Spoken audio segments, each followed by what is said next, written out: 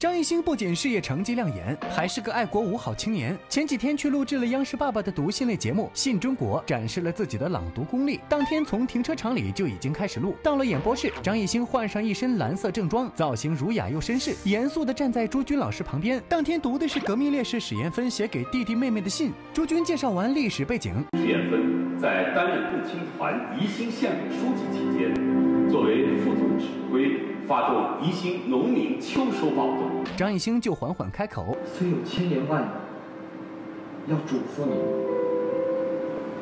但始终无法献出。”感情充沛，娓娓道来，已经完全沉浸在沉痛的氛围里，满脸的忧伤。读第二封信时，他又转换了语调，变得激昂起来：“我要到五花台去了，